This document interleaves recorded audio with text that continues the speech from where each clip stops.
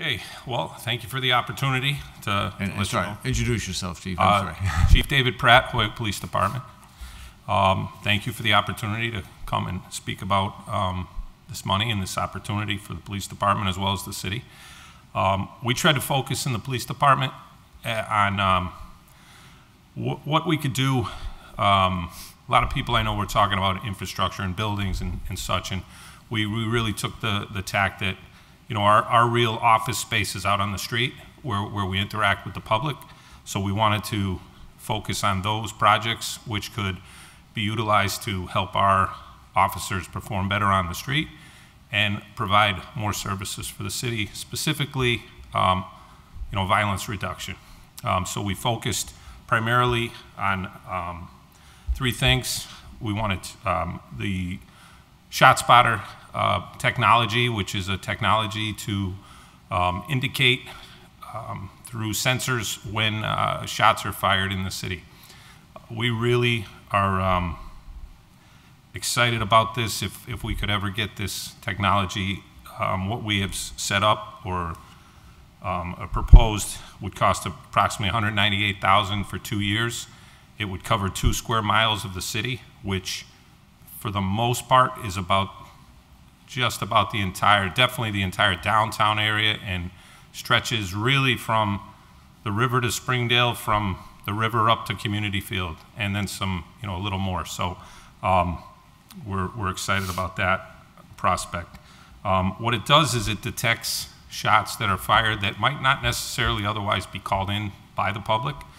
Um, not because the public doesn't want to call the calls in, but sometimes people hear things and, and are hesitant to call the police because they think it's fireworks or it's too far away, somebody closer will call. And, and that has a, a twofold effect that A, the um, people who don't call it in, uh, uh, you know, don't, well, they never see a response from the police. And the people where the shots are actually happening don't see the police come. Um, the, the statistics we have are about 80% of shots fired calls are not actually called in to the police. So this would bypass all that and get us the information sooner. This technology goes right to the cruisers, so the responding officers would have that information instantaneously when the shots go off. And another big part of that is it, it rebuilds trust with the, with the community and with the police department. If you are in one of these areas where there might be shots fired and you heard it and maybe you didn't call it in because you don't think the police are going to come. Um, and when we don't come because we weren't called, it, it, it starts to eat away at that trust we have with the community. So the shot spotter will bring us into the area. People will see us come to the area where they know that this just happened. And obviously will increase our response time to where we need to go. Another part of, uh, unfortunately, is when shots fired are called in, um, it could be called in several blocks away from where the shots actually took place. And our only thing to go off of is where the call came in. So our cruisers are responding possibly two or three blocks away from where the actual shots were fired. And that takes time to bring, you know, to, to figure that out. Once you get there and realize there's nothing in that area, you start spreading out your search. This would um, really focus the officers in instantaneously to where the shots were fired, and hopefully uh, quick enough where we might be able to apprehend some people that are, you know, uh, causing the city harm. Um, that's the real goal of this. Um, so we're hopeful for that. I think it's beneficial not only to the police department, but to the city. Um, I know there was some talk of small business, helping small business. Well, nothing helps small business more than good public safety. So I think it, it, it helps everyone. It just doesn't help the police department. It helps our officers do a better job. It also helps the public. Um, our second, you know, uh, second proposal is for tasers. That's 100 138,000 for 40 tasers, but that, that isn't just the tasers, it's the tasers plus the equipment that goes along with it in the training. So um, we currently have about 30 tasers, which causes our officers to have to um, share the tasers, more of a sharing system, and not everybody gets one because there's not enough. Um, the goal would be to have as many of those as we can. For those not familiar with tasers, tasers are a, uh, less than lethal option to use when someone is very combative or, you know, potentially, that which gives our officers another tool rather than to have to resort to, you know, deadly force. Um, it's a proven, uh, proven effective tool, and, and we certainly could use them. Um, So Chief, let me just ask, so right now, not every officer on the street has tasers? That's 100% correct. Okay. Our, our final, um, of our, our top three proposals, we had many proposals we looked at. Um, I wanted to focus primarily on these three. Um, Our last proposal was, was for $1,000 for each employee of the department uh, that worked through the COVID. Um, I, I know that, you know, that might not seem popular, but I, I, think it's important that the public knows that our officers during COVID did not uh, switch to Zoom, did not uh, stay at home and answer calls from there. They were here every day during the pandemic dealing with crime and dealing with things, and many of our officers um, contracted COVID while working. Um, and I know that some of this um, money was earmarked to uh, go to first responders and public safety, and I just feel it's important to um, reward those people that, that worked through that pandemic. Um, It was unprecedented and nothing like it before, and I think it's, in the big picture, it's just a thank you to those people that, that did the job and did it well. Um, The other, uh, I don't know how much time I have, I, I try not to focus too much on the stuff that we have related to our physical station, because I believe that is a DPW area, and I'm sure they'll talk about it. Um, We have some duct work, some carpet, swipe cards, things like that. Um, In the big picture, they're, they're important, but not as important to me as those first three. Okay. And um, there was some other parts of the proposal for street cameras, which we have some, we can always use more. Cameras are the, uh, uh, really the future of law enforcement. They're everywhere. We use them to solve all types of crimes. So um, we can always use more. I- But I, I didn't put that in the top priority because I feel like we do have a pretty good coverage of the city in cameras. There's always spots we can add to. Um, So if that was um, something that fit better into the, we, we certainly wouldn't uh, not want them.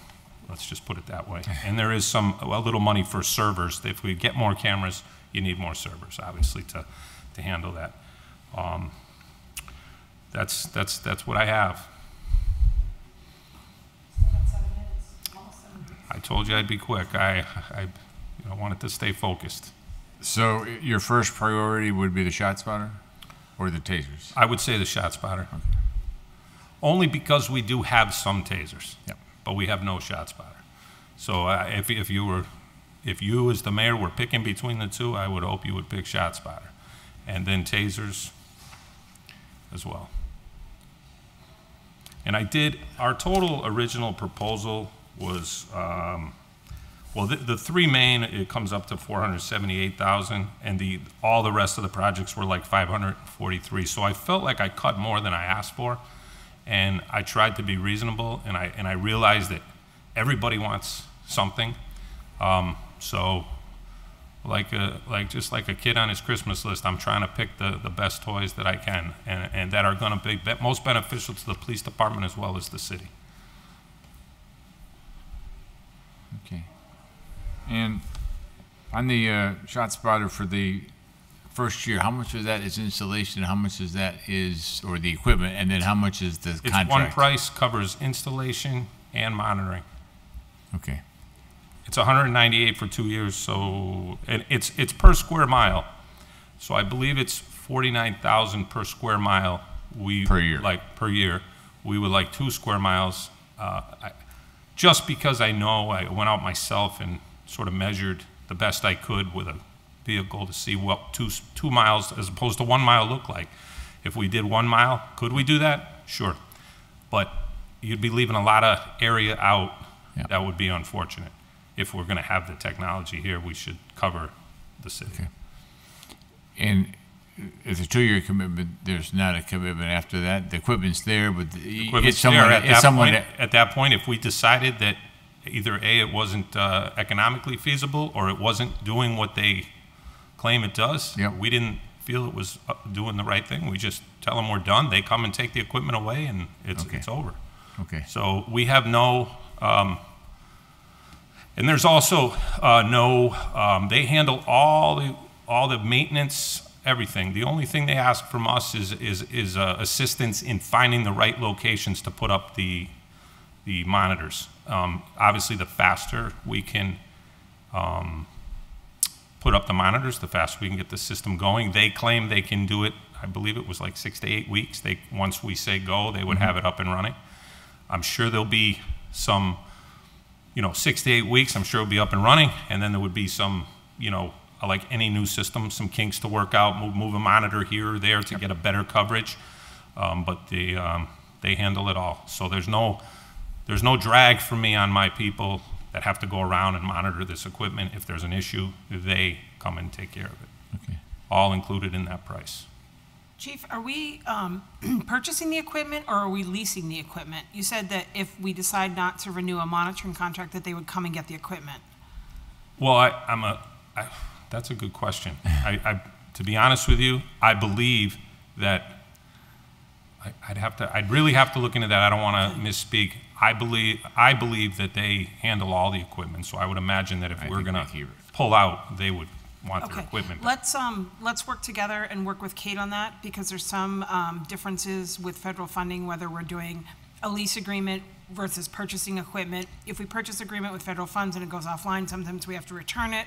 Mm-hmm. So let's do a little more digging on it Sure, in terms of what, what it is that they're actually providing. right. I Yeah. can, I'll have that by, I could, by tomorrow. Yeah, I, I was under the impression that it's their equipment, but Right. they're providing it, and that's the forty-nine thousand for square, that they're providing it and providing the service Correct, with their equipment, right. uh, but I could be wrong. I w- yeah, I, I believe that's what it is, but I don't want to misspeak here, but I will double check. Okay, anything else, chief? No, that's it. Okay, thanks a lot. All right, thank you very All right. much.